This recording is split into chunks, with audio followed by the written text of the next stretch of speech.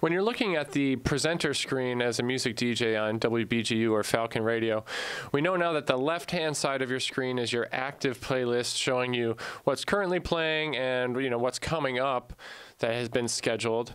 Um, but the right-hand side, uh, if the left-hand side is your active playlist, the right-hand side is uh, additional uh, collection of resources and tools that you have available to you.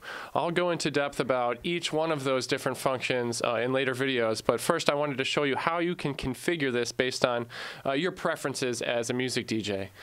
So you can see that this right-hand side of the screen is um, is split into two halves uh, with similar content here. So what you could do, um, the reason for this being split into two is because I'm in what's called a half size. I can change that here by going to full size. And then I just have one option for each of those tools down here. Or I go back to uh, half. And then I'm able to see two different versions of those things. So I prefer uh, to use the half function. So that way I can say be looking at my library of content here and then also be looking at an array with other different tools and stuff like that down here.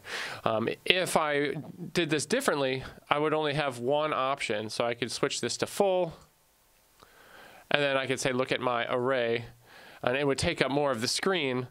Uh, but then I would have I wouldn't I'd be limited as to how I could multitask. Uh, so those are some of your options and just how you can configure that right hand of your presenter screen.